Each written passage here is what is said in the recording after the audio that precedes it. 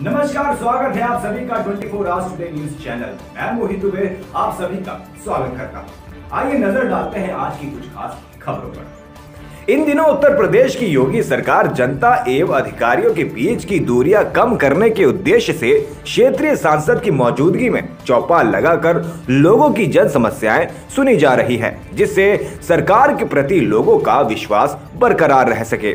उसी के तहत क्षेत्रीय सांसद गाँवों में पहुँच रहे हैं और लोगों की जन समस्याएँ सुन रहे हैं। जिला अधिकारी पूरा प्रशासनिक अमला लेकर झांसी ज़िले के ग्राम अक्सेव पहुँचे, जहाँ पर उन्होंने आम लोगों की समस्याएँ सुनी और सांसद अनुराग शर्मा एवं जिला अधिकारी आंध्रा बामसी लोगों से सीधा संवाद स्थापित किया। प्रधानमंत्री आवास योजना शौचालय निर्माण, विद्युत विभाग की लापरवाही, पुलिस प्रशासन से संबंधित भारी संख्या में शिकायती प्रार्थना, पत्र आए, विकास कार्यों की, पुलिस व्यवस्था की, ग्रामीण जनों ने पोल खोल कर रख दी।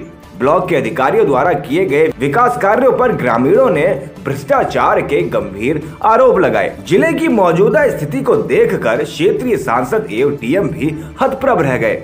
फ़ौरन जाँच कमेटी गठित कर दी। विद्युत विभाग और पुलिस विभाग की कारगुजारी सुनकर जिला अधिकारी आंध्रा बामसी के तेवर काफ़ी तीखे हो गए। जब एक युवती ने रो रो कर ससुराल पक्ष द्वारा प्रताड़ित करके उसे घर से निकाल दिया है और पुलिस ने विवेचना में मोटी रकम लेकर नाम काट दिया है। मौरानीपुर ब्लॉक के ग्राम पंचायत सचिवों के द्वारा प्रधानमंत्री आवास योजना के बनवाने के एवज में बीस हज़ार खुलेआम लिए जा रहे हैं।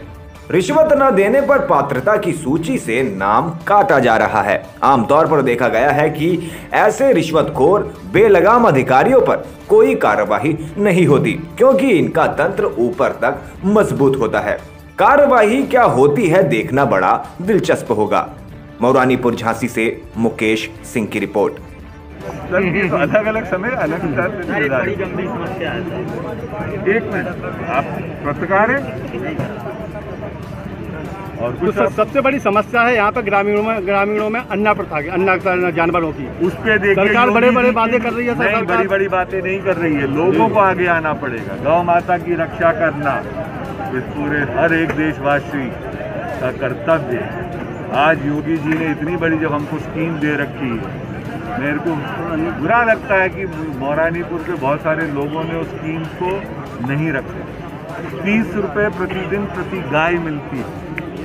आपको महीने के नौ सौ रुपये मिल सकते हैं प्रति गाय के। अगर गौ माता को आप घर लेके जाएँगे उसके चार ही इसके अलावा गौ माता का आपको प्यार मिलेगा आपको दूध मिलेगा। आपके वहाँ गोबर है। आप उससे मन्योर बना सकते हैं। आप जीविक खाद बनाएँगे। तो ये इतनी अच्छी स्कीम हम ललितपुर गए। सर लेकिन किसी को पैसा नहीं दिया गया अभी बात सुन लेंगे आप। बात सुन लीजिए। आपने कह दिया तो भैया नहीं हो जाता ना वो सत्य। मैं सत्य देख के आ रहा हूँ। मैं खुद गाय माताओं वहाँ पे लोगों को कल्याणपुरा में दान में दे के आया। उन लोग मेरे सामने लेके गए। उसके बाद मैंने उनसे पूछा है कि आपके पास पैसे आए? उनके खाते में डीबीटी के पैसे आते हैं। आप मुझको एक ऐसा किस्सा बता दीजिए जिसने गौ माता ऐसे ली हो और उसके खाते में पैसे नहीं आए। ग्राम बमोरी सर वहाँ पे गौशाला बनाई गई है लेकिन प्रधान के द्वारा बार बार बताया जाता है कि गौशाला के लिए पैसा ही नहीं आ रहा है गौता के लिए। वो प्रधान का कहना है। आप उसके आंकड़े मंगवा के चेक करा लीजिए। प्रधान जी को फिर एक्सप्लेनेशन देगा। अभी सारे प्रधानों के पास पंद्रहवें वित्त का पैसा पंद्रह दिन पहले ही आया। और आगे चौपाल लगेगी क्या? क्या सर ऐसी चौपालें लगाई जाएँगी आगे चल के? भैया मैंने सबसे पहले आते वही बोला था कि मैं चौपाल लगाता ही रहता हूँ। मेरे को अच्छा लगता है